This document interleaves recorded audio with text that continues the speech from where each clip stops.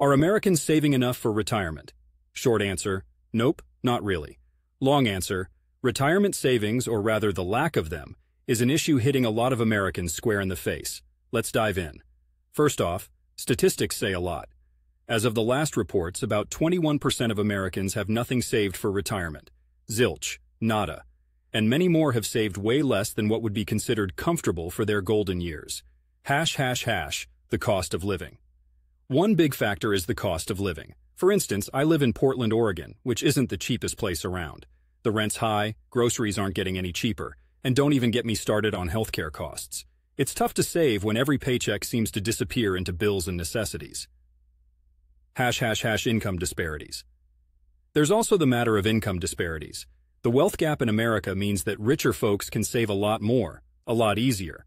However, if you are living paycheck to paycheck, saving for retirement feels more like a luxury than a priority hash hash hash job market and benefits. The way the job market has evolved plays a part too.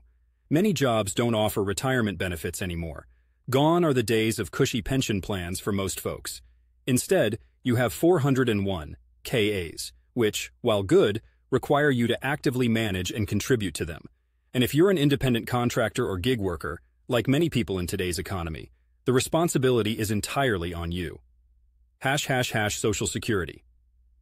Many are relying on Social Security, but here's the thing. It's not meant to be your sole source of retirement income. It's more like a safety net. And given the debates around its future sustainability, it's risky to bank on it providing for all your needs. Hash hash hash financial literacy. There's also a lack of financial literacy. Many Americans just don't know where to start when it comes to investing or saving for retirement.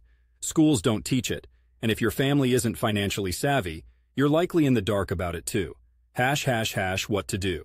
So what can be done? Start saving early. The younger you start, the more compound interest can work its magic. Even if you're older, it's never too late to start. Look into retirement accounts like IRAs or 401ks if your employer offers them. If you're a freelancer, consider a SEP IRA. Financial advice can be helpful. There are tons of resources out there, from books to online courses, to help you get a grip on your finances. Sometimes just a little guidance is all it takes to change your financial future. In a nutshell, no, Americans aren't saving enough, but it's never too late to start changing that narrative.